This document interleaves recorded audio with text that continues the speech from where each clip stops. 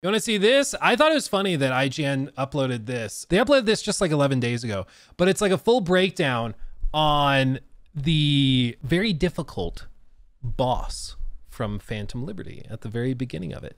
And I I find this fascinating. I love seeing behind the scenes stuff on game development. And if you are a member of the channel, if you're a member of any of this, go watch um, the member exclusive video. It's actually on the uh, the community member tab on Luke Stephens Live, so go check it out. But this is this is pretty fascinating, and it should make you appreciate a lot of the detail that they put in because it's it's quite it's quite impressive. They put a lot of work into this. Okay, just just take this in. Take this in. You wanna play rough? Gonna get rough. If you've played Cyberpunk 2077 Phantom Liberty, you'll no doubt remember the Chimera. It's a hulking, spider-like tank that chases you relentlessly, destroying every piece of the building around you before trapping you in a one-on-one battle. Mm. It's the biggest boss fight in the whole game, and was a monumentally complex sequence for developer CD Projekt Red to create.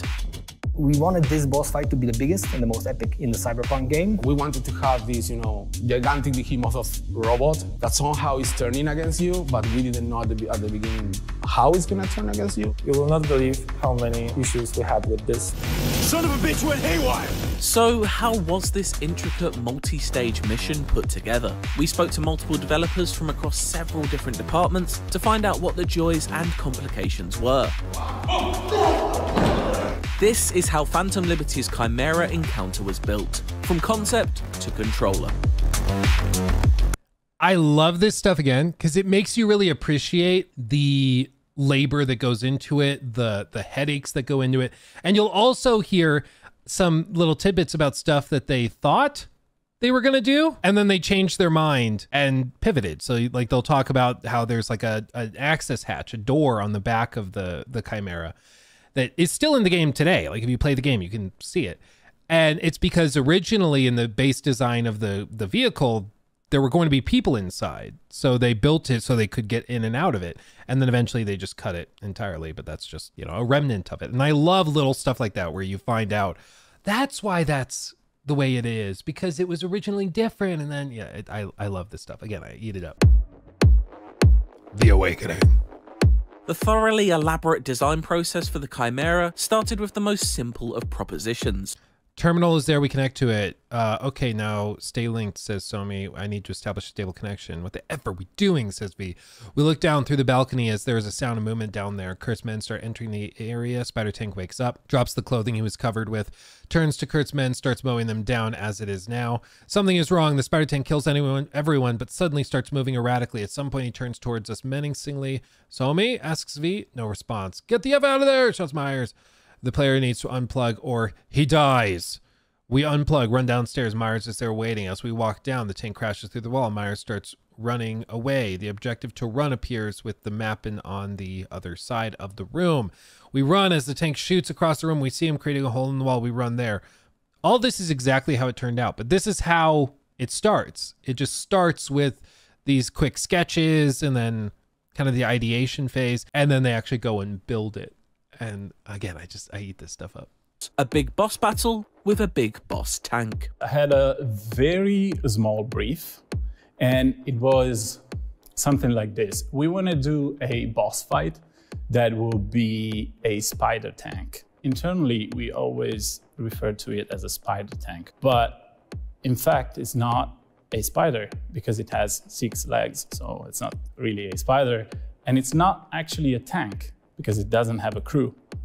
So Chimera fits better. For a moment, we became this kind of military designers creating a tank, right? And figuring how, with this advanced technology, how we will be designing this device so it could actually potentially operate in real time. At the beginning, we didn't have this almost claustrophobic environment in, uh, in mind. So we also thought about maybe we can have this tank jumping around but we decided that we wanted something heavier, something scary. That desire for heft and weight informed the complete look of the Chimera. It was built to impose itself on both the tight confines of its surroundings and the player, who is tiny by comparison. We thought that that it would be perfect. With this kind of mm, man versus the machine, David versus the Goliath uh, moment where we have to, as a single person, fight with something so massive and elaborate and powerful. We didn't have a perfect gameplay idea at the beginning, so we started with many legs, high legs, something uh, smaller, something bigger. When one of those sketches were chosen, we were like, okay, now we, we need to block it out so we have a very rough 3D model so they can test it in the level. That one was a little bit more similar to the final one, and I tried to keep the shape as similar to that block out, even when I started adding details in 3D and, uh, you know, make it more believable, more like a real tank.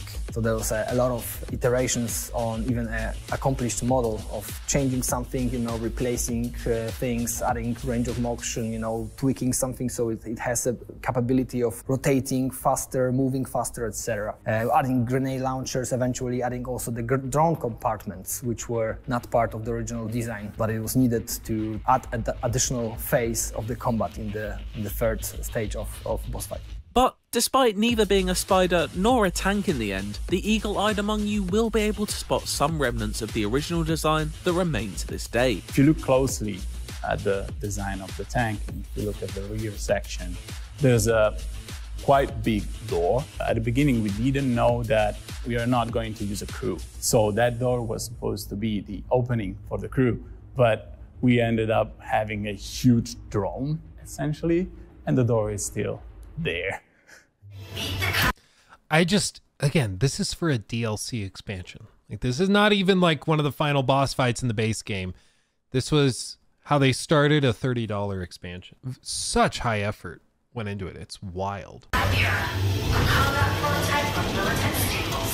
Being an automated machine rather than a crude vehicle allows the Chimera to move in a more animalistic way. Unhindered by the limitations of humanity, its motions are free to be animated in a way that better reflects its natural world influences. We were mostly relying on scorpions, beetles, things that have six legs because it's very important to, you know, pick up the balance on how he's moving, the, you know, the motion, the body motion that Chimera is showing through the entire sequence, how heavy it's gonna be, uh, always having some uh, contact point on one of the legs so, you know, it doesn't unbalance. We need to figure out how to add a little mechanical flavor on top of it because it's a robot in the end, right? And it's uh, made of mechanical parts. So that's why, for example, we try to have the turret and the main body stabilized, and only the lower body with the legs is what is moving around.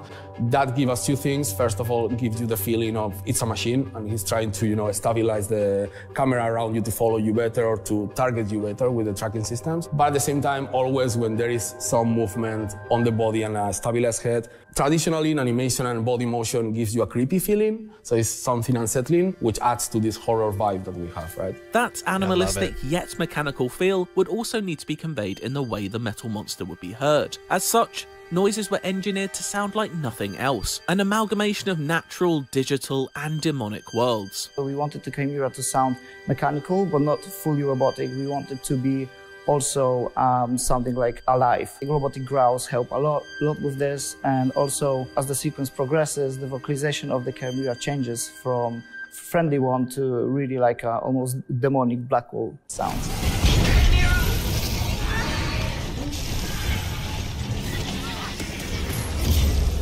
The Black Wall is the corruption at the core of Songbird's story in Phantom Liberty. As such, it needed to sound like an overwhelming force eating away whatever it came into contact with, be that the hulking chimera or Somi herself. It's an audio hellscape she nor the player can escape. I think the coolest and the most interesting thing, thing about Black and how it sounds is that it wasn't supposed to be futuristic sci-fi. It's supposed to be like the descriptors I got from both the narrative director and the lead cinematic designers. They were talking about shamanistic sounds, cyber monsters. Uh, essentially, you would need to create sounds of cyber hell. A lot of it came down to figuring out some synthetic uh, sources that actually sound animalistic and then making them a little bit more cybernetic. So, for example, chopping them down into super Dude, small. the sound design in Cyberpunk is just so the- good. The music like too. glitching out when they're Like, it's gotten a lot of praise. It deserves more. Eh, they are so good.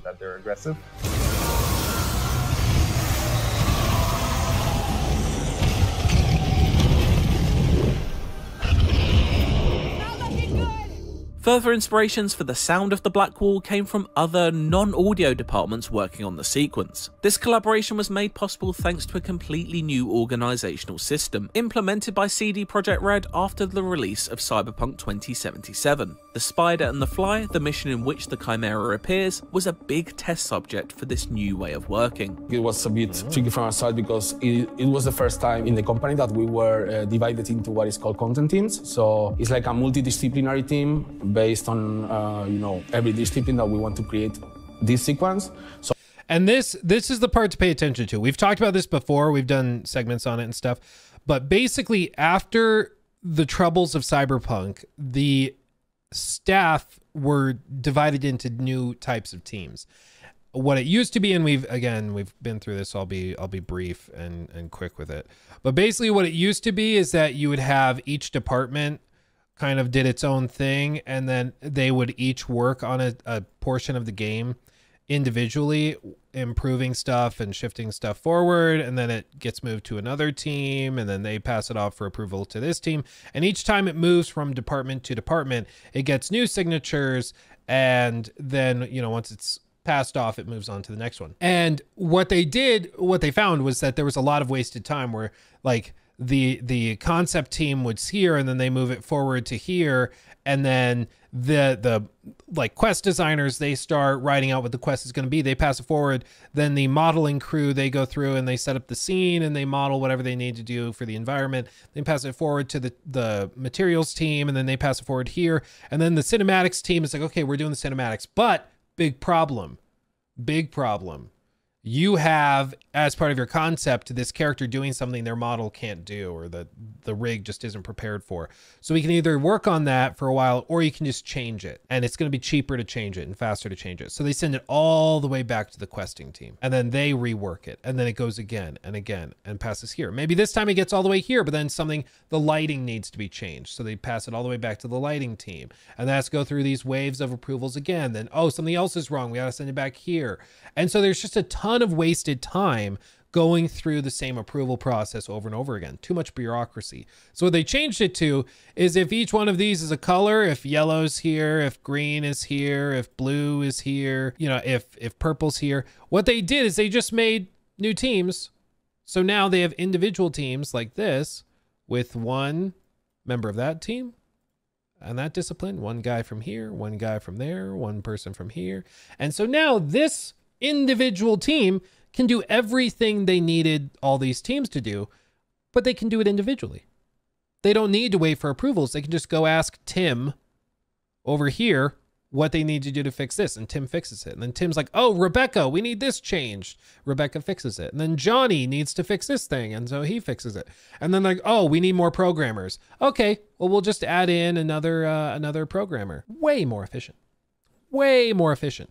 And that's what he's referring to here is this was the first time they worked in these content teams and it works way better.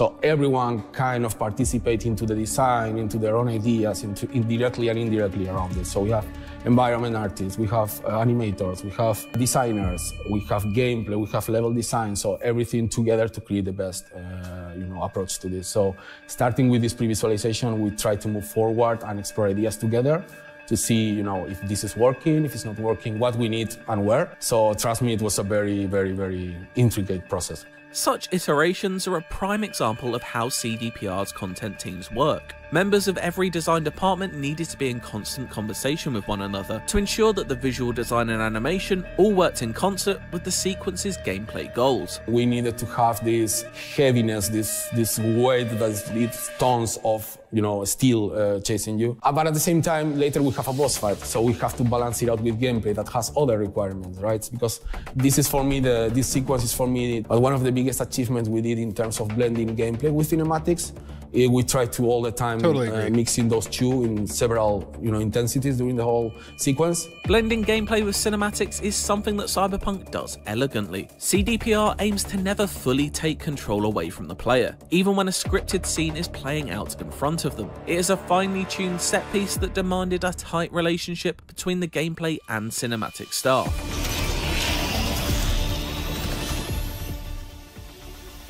And I don't think we'll get time to look at it today, but I have another video for us to watch at some point. This one right here of Will Shen and Daryl Brigner.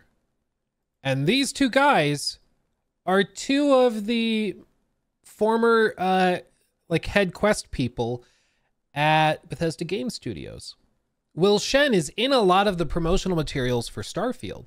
Doesn't work there anymore. He left and is working at Something Wicked Games, which is made up of a bunch of Bethesda veterans and stuff. In this talk, they discuss a lot of their development process for making quests and levels and stuff in Bethesda games. And they basically describe how things got the way they are today, which is really out of control in terms of the bureaucracy and the multiple levels of of approvals and and all of this stuff. It's really really fascinating. Really really fascinating. And I think that Cyberpunk they had the same problems when they launched Cyberpunk 2077 as Bethesda does now where there's just a ton of inefficiencies, stuff slips through the cracks and you end up with baffling things that happen like having a DLC that you pay you charge 7 bucks for, but the gun that's a reward for that quest doesn't even reload properly for players for months after it launched. How does that even happen? It happens with those waves and waves of inefficiencies that we discussed, where some bug was missed, like back here, but because it went past that approval and went through all of these extra waves and never made it back there, they didn't catch it. And then, in order to fix it, they have to go from the approval process, send it all the way back, and then it has to go all the way through again, which takes time. Again, just inefficient. Whereas here, they could just send it here. Tim fixes the bug, it goes out to everybody. So I, I've been hoping that BGS would look at the lessons that CDPR learned. They've given these talks at games or at uh, at the GDC events and stuff. They've talked very openly about it, but they're not going to make changes unless they think something's wrong. And that seems to be the the pretty clear thing is that BGS doesn't think anything's wrong. This is like one example when the tank is rising up for the first time in the in, in this room with the cloth tarp and he's shooting at you. So he's actually starting to shoot at you in the middle also of his animation that makes him go to gameplay. You know, normally you would have like cut, like a fade out and fade in, or maybe something will glitch at the at the transition from uh, gameplay to scene. And in Cyberpunk, especially in this sequence, we always strive for making it invisible, basically. And the fact that you ask me which parts are cinematic means that I did my job well because it's just unnoticeable. Almost the whole sequence, except for maybe just the fight itself, which is completely gameplay driven, is actually a cinematic sequence. Some which is part of what makes Phantom Liberty so good. And that's why I will stress to you and everybody else in chat who's played it, I'm sure will stress to you as well. You gotta try it because it is as close to a playable cinematic for an entire expansion as you can get. Same with like eh, eh, honestly the base game of Cyberpunk 2077 at this point after the 2.0 update is at that level. It's very very impressive. They did a ton of work on it and they deserve that credit. Again, should have been like that at launch, but I think you still got to acknowledge where it is today. Sometimes intertwined with gameplay, just for example, when Tank is shooting down the Kurt's enemies on the balcony, this is a cinematic anima animation. There are dialogues being played by the characters. There are even like contextual animations played on V where, where she's covering her face from the missiles. But the soldiers that are on the balconies actually have gameplay behavior, but we did it in a way that the turret swipe is so, let's say, meticulous that they will die anyways. So it's kind of a risky mix we did, but it worked out in the end.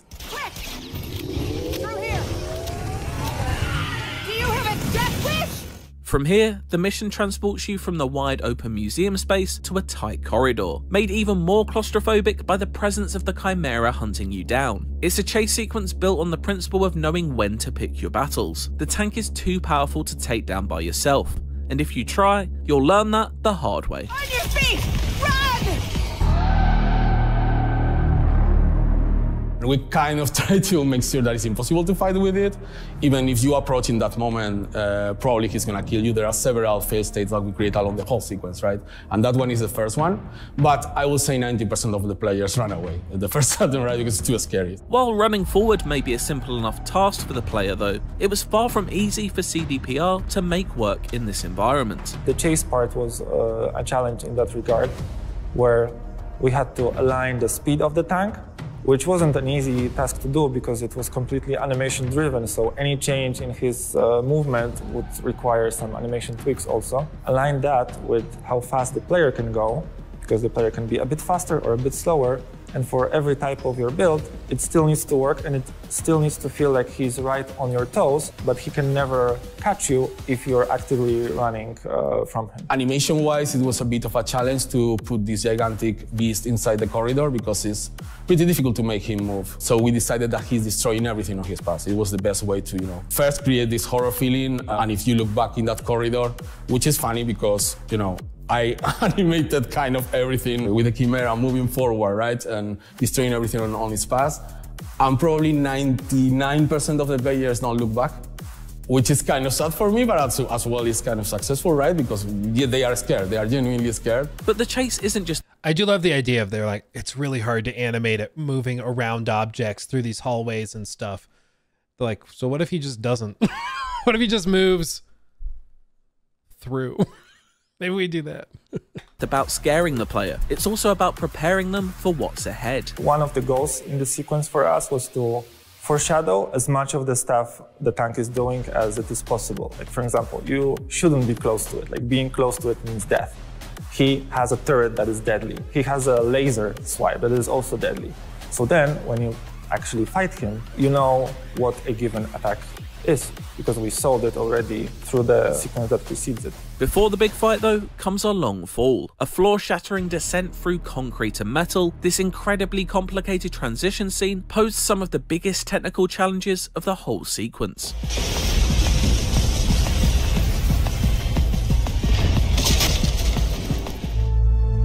The fall. The fall. Key, thank you for the five. If you had one shot, one opportunity to seize everything you ever wanted, that you wanted, one moment, would you capture it or just let it slip? Yo. Insert verse. Thank you for that. It was kind of my own personal baby, actually. I wanted to create a bigger action sequence instead of just falling. So I took some inspiration actually from some other places, like for example, the Uncharted 4 Clock Tower sequence.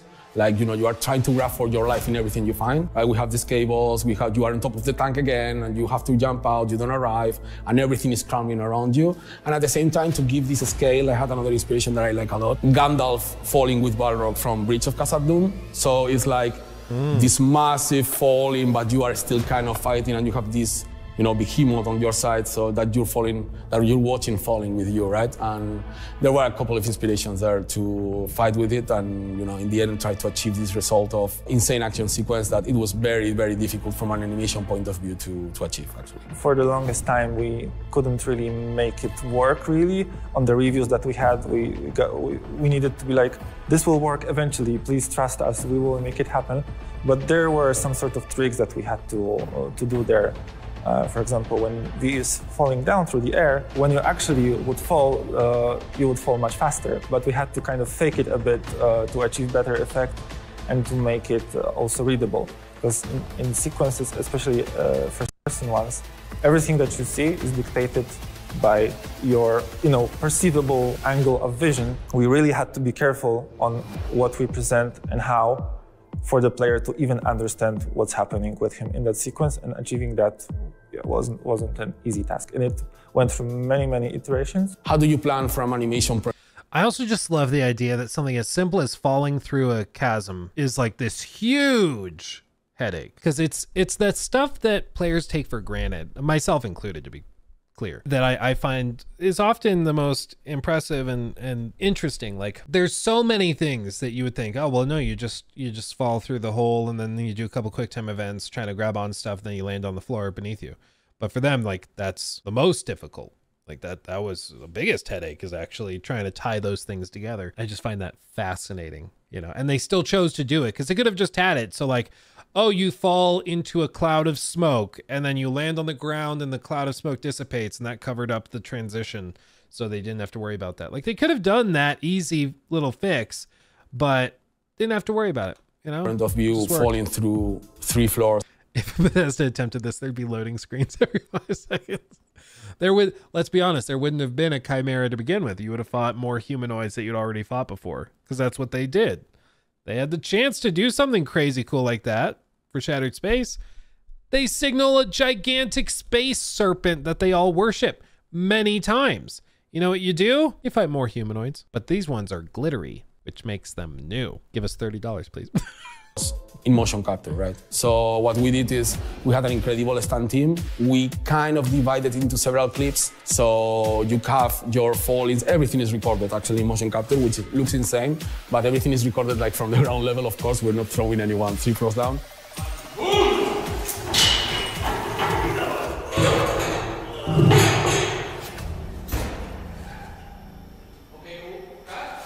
Later, we have to cut and clip everything, cut and paste every single bit so it makes sense, but with the same timing and with the same pacing that we have before. And it was incredible to work with that. Uh, but it was kind of a gigantic puzzle to build all these animation clips while at the same time having this Chimera keyframe animated on top of it. Try to sync everything. It was a bit difficult, but very rewarding in the end. So this was a very close collaboration with cinematic designers as well to try and nail that timing together with this insane action sequence. What looks like a simple fall actually turned out to be the most complicated part of the sequence for the cinematics team. Assuring that the most scripted of events looks reactive is an art that they put a lot of time and effort into perfecting. Nothing there is uh, procedural. Everything that was needed to be directed by us and put in a very specific, deliberate place, or like uh, the distraction that is happening at the very precise moment. Like when you're falling through that concrete floor, the smoke needed to go off at the very pre precise, specific moment the pieces of debris needed to clear out for you to be able to see where you're falling. And you, it needed to be clear that you, you know, fall down on the tank and roll off from it. So putting this specific part of the sequence was certainly the most challenging, but also the most fun. While this sequence delivers cinematic spectacle in spades, Cyberpunk is a video game, not a movie. As such, it's important that there are still flashes of interactivity through the most scripted of scenes. Not paying attention, deadly QuickTime events will make you pay the price. Squish. We tried flat line. But this is this is why we stress like how important it is to be hungry, right? As developers. Because if you're hungry and you're like, we need to prove something, you make this kind of thing. Because again, like the the path, the easier path was there. Even for that falling sequence, they could have just said, this is a headache. This is going to take us weeks to figure out. Is anybody really going to care? Like, does, does it really matter? The answer is probably no. Like, if players don't have that, if players don't have the cool falling sequence, they won't know they're missing it. So will they care? Not really they'll they'll feel less impressed than if you did it, but will they really care? Probably not. And that's the philosophy I think a lot of studios, not just I mean we point to BGS because Shattered Space is the most recent thing to point to, but uh, a lot of companies will do this where it's like why why try that extra 110%? Why why push themselves to that 110% point if 100% or 90% is enough. For CDPR, they needed to prove something with the expansion. They needed to prove something. They wanted to to show that they they still had it. Um, and that's what they did, I think. I think. Whereas for a lot of other companies, I think if they feel like they are they are where they need to be and they they just need to do enough, then you get lackluster products at the end of it because they don't need to push themselves. They don't need to try that extra bit. Let's see, Mr. Steel Kill, you for the five. I watched both of Maddie's videos on Shattered Space, even though he was very disappointed with Bethesda's DLC. Those videos were very good. Good. Yeah, I I've seen some people try to go after him and be like he's he's just flipping. He's trying to get PlayStation Cloud or whatever. It's like guys, not everything is is a console war thing. Like sometimes you just were hoping for a good expansion and you got a lackluster one. That's it.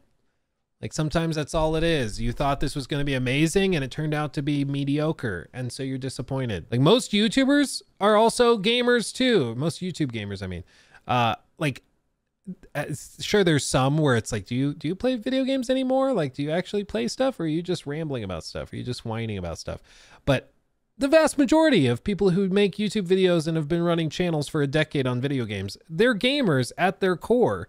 And so they're going to be disappointed by some releases. They're going to be bummed out by stuff because they're fans too. Like do you think i'm thrilled that assassin's creed has been taking a nosedive? No because I grew up playing Assassin's Creed. I ate it up. I loved it. Seeing them fall this far is pretty disappointing. It's pretty sad. You know, so I'm bummed by it. I guess I'm just used to it. Whereas I think a lot of maybe BGS fans are not used to it yet, at least. You know, for me, it's like there's a new Assassin's Creed game coming out. I'm like, yeah, it's probably going to be like a seven or an eight, maybe. So to find out that it looks like a seven or it looks like a six, I'm like, yeah, that's about right. I'm just like, to me, it's not a surprise at all anymore. To never take the full control from the player for too long, it's kind of like a rule, like a philosophy of ours. Like there cannot be too long uh, scenes, basically. And so, on top of it being already difficult and containing multiple elements to piece together to work in perfect sync, we also made it so that you can get hit by the turret if you don't react quickly. If you don't manage to grab the cables, you will bounce off them basically. And if you don't dodge the spider tank's leg, get crushed by it. We wanted to kind of test the, the streamers a bit, that, uh, that sometimes during the scenes they just tend to look at the chat maybe, not pay full attention to what's happening on, on the screen. In, in this case, uh, and actually we uh, witnessed it several times, they just died in, in the middle of the scene because they, they weren't paying attention. That's exactly what I'm talking about Stupid when, streamers. when we talk about scenes in Cyberpunk. You can never really look away. You can never put down your gamepad and just uh, witness the event. The biggest challenge for the player was yet to come, however. After landing, the briefest of respites is granted so that you may gain a bearing of your surroundings. Savour those few seconds though, because it's the calm before the biggest storm Cyberpunk has to offer. What was previously seemingly indestructible is now weakened, but that doesn't mean it won't put up one hell of a boss fight. That transition where it starts shaking, it's behind me, isn't it? I love that. It's so good.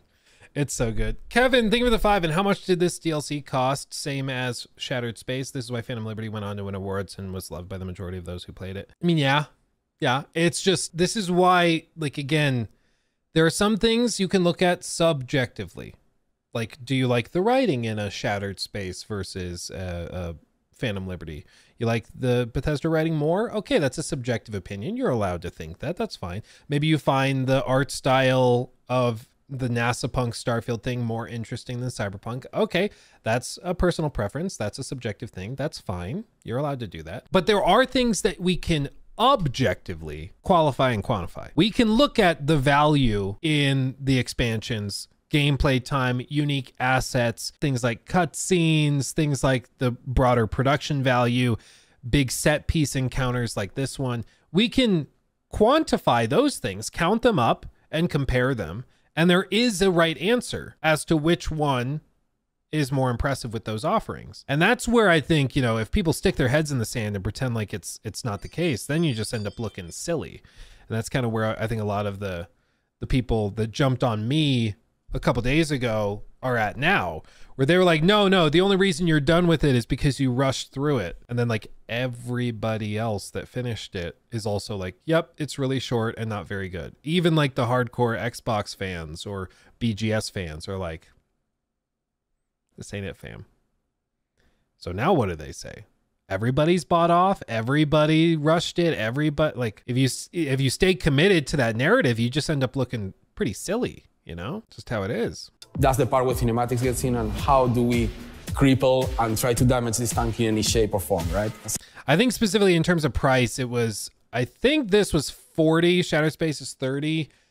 I think some jurisdictions, jurisdictions, some uh, markets, it was the same price depending on currencies. So I think it depends on where you live, but similar ballpark.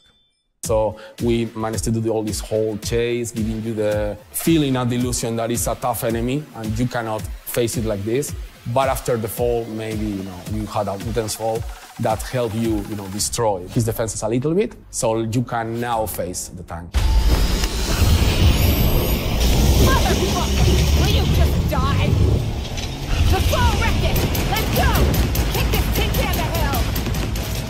The fight itself tasks you with taking on the Chimera and its many, many different weapons. It's here that the design of the tank and the design of the gameplay scenario all comes full circle, with gameplay influencing visual design and vice versa. On the early production of Phantom Liberty, combat was supposed to happen on the street level. So we were thinking about the range combat, larger distances, big arena. Eventually, in the process of designing the expansion, we decided that it would be all held inside the buildings, right? And eventually in the abandoned metro station, which kind of changed the perspective. The first actual iterations of that boss fight were more navigating around, sneaking around the tank. Tank was moving on its own. We didn't have time to do this and at the same time create this horror vibe of chasing you if you open a space straight ahead from the beginning. So the first limitation was like he's not gonna have a proper locomotion on its own. Locomotion meaning he's gonna move on itself around. So we knew that we wanted kind of circular arena so that he reaches to you with all his arsenal, but he doesn't actually really needs to approach you.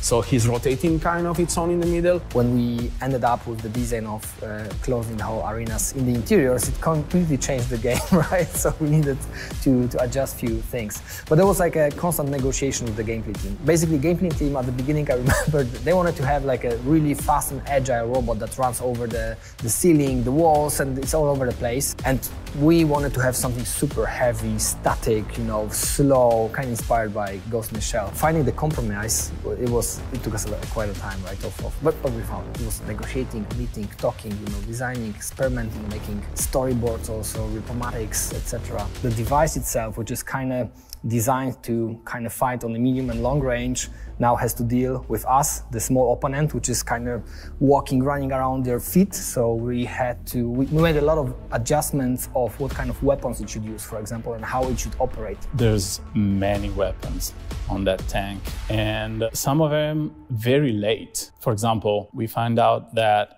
being I don't want to say completely static, but in the middle of the of the level, if the character goes too close to it, you can keep shooting. So we added this beam just to make the layer go far away from it. We had this case of the laser weaponry uh, in the base game uh, when we were fighting uh, Royce boss fight. So he was basically using this laser weapon that can sweep uh, through the environment. Uh, so with the Chimera, we wanted to do it times 10. And what we aim here for is this constant feeling of the threat but also it needed to give the player information that uh, the laser gun is winding up to, so, so to give them a chance to basically hide behind the cover and avoid the damage. Watch the laser! Take cover! Yeah, even little touches, like you notice how it always starts pretty much as far away from the player as you could. Which, in the context of a giant chimera military robot, probably doesn't make sense. Like, it knows where you are, it's shooting at you. So you'd expect the laser beam would just beam right to you, or at least in your general area, and then just go va va va va va va va, and that's the sound it makes apparently, and just, you know, chop you up. But because they're designing a video game, they have to communicate to the player this is coming, prepare, get behind cover, or prepare to jump, whatever it may be. And so they can like they, they have to communicate that. that like these are the little things I love about video game design is just planning out those little touches where if you're just playing the game in the hectic moment, you probably don't think about it too much. But when you pause, like, oh wait, why would it start the laser beam so far away from me? It's because they have to communicate to the player that it's coming and all of those little bitty things. I, I love it. It wasn't just the Chimera's weapons that needed to be tweaked over time though, its armour also needed redesigning. Once we had a blockout, I knew that we needed armor, so I started designing the armor and what's underneath the armor and which places we wanted to be destroyed because we also worked with weak spots and we wanted to, you know, reveal them. We used the Kiroshi eyes to reveal them. So you just need to scan and you see them. So I didn't really need, you know, to make them yellow or too obvious. It would be also kind of stupid for a weapon to show his weak spots. So using the Kiroshi eyes, it's a fantastic solution. It's another great example of gameplay and art design working in tandem, and it and other similar combinations all build to the fight's grand finale. After exploiting the Chimera's weak spots and disabling it in spectacular fashion, it's time to deal the killing blow. That finisher, involving the tank's beating mechanical heart, is the perfect example of every department of the content team coming together. We wanted this feeling to slowly, over the course of the sequence, to, to shift and make you as a player feel more and more in power. Finally, the finisher, we wanted to do this kind of a exclamation point uh, after the boss fight to really make the tank go out with the bang. The gameplay guys asked me kind of late in the production that they wanted something to be used by the player. I was kind of lucky The that case because I had just the spot for it. So Yeah, I got lucky there. So there's a cylinder in the top with a hatch that you can open, take the heart. It looks like a heart, in fact, and uh, toss it, destroy it. And we want it to be uh, the heart to sound consistent with the Chimera approach to sound design when it needs to sound organic but mechanical at the same time. There's a really cool thing and the details in it when you just open the hatch and you can actually start hearing the heart beating and then once you grab it and you rip it off um, you can hear it's basically dying and then there's a really cool thing when V just throws the heart and it lands on the ground. So we have this Chimera core that resembles a heart. I didn't realize that they had two different animations depending on whether you had the mantis blades or not. That just broke my brain. Because I, I usually have the mantis blades equipped, which they showed in the previous clip of, you know, cutting in and ripping it out that way. But then they also have it so if you don't have the mantis blades, you just reach in and grab it and pull it. Attention to detail. It's amazing. Let's all appreciate it. It's so cool. And that was kind of a conversation internally because we said like, what looks cooler than having a, you know, a beating heart of your enemy in your hand before you finish it off, right? And it's kind of the a metaphor we wanted to, to do there. And later it was super cool because as well with this content team, uh, multidisciplinary team, we managed to even make it a piece of loot. So later you can craft something out of it. So it's just a very cool ending for it. We all need to come together and that's why we work like this in CDPR, that we are in those content teams because every iteration is an improvement on, on what we did and every improvement is a holistic thing. Rust and piss, shitbot!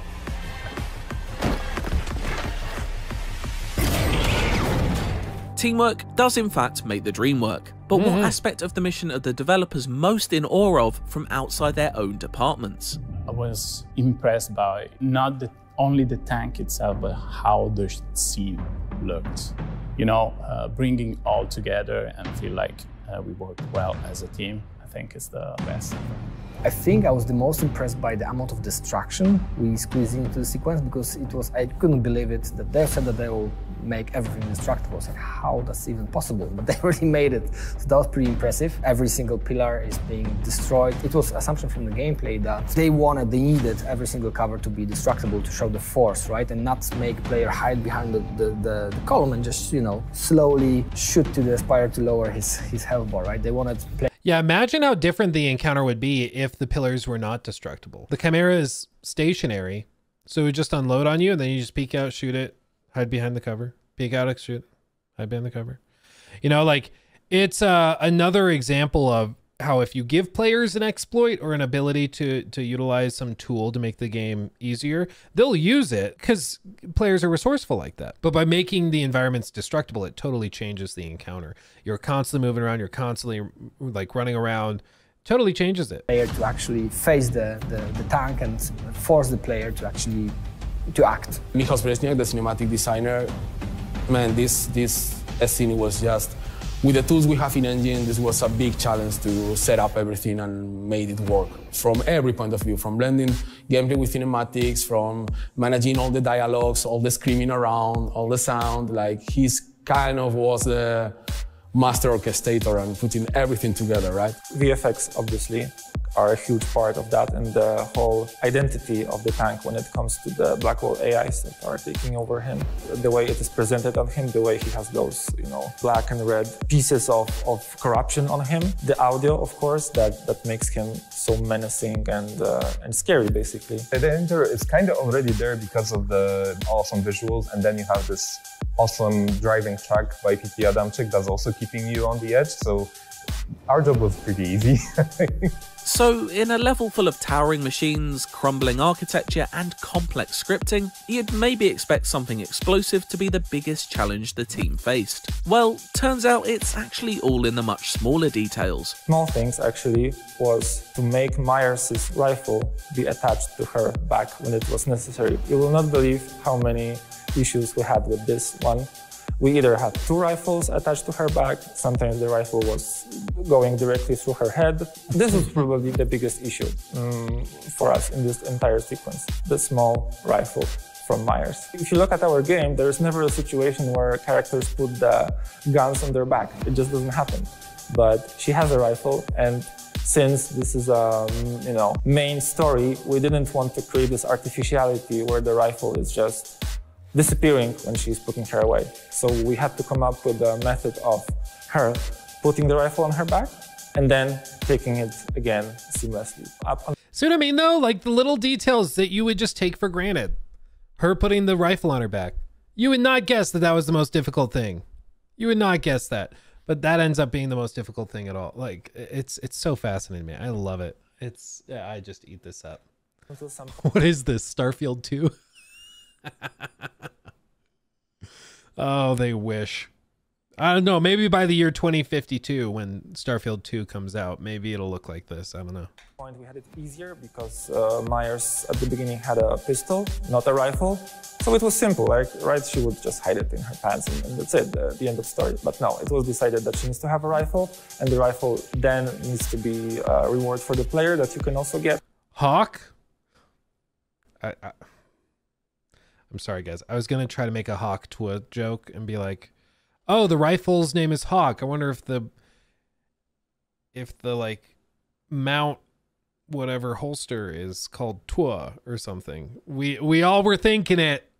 We all were thinking it. Let's be honest. Everybody. Yeah, you're not better than me. You're all the same. and it created a bit of a complication for us, uh, but it was it was all fun, all fun and games. Apologies. All fun and games and months and months of hard work. The Chimera encounter is one of the standout moments of Cyberpunk 2077. A complicated beast at the heart of the Phantom Liberty expansion that wouldn't have come together without all of the different disciplines at CD Projekt Red combining forces tightly. It's a mission with as much heart put in as is taken out of its central beast, and as cool as the metal panels that shield it. We're clear. I detect no more. For more Cyberpunk, check out our mm. review of the Phantom Liberty expansion, and for everything else, stick with IGN. so good. So so good.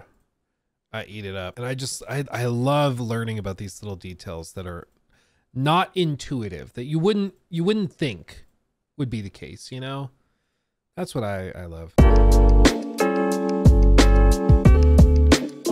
He took my thing.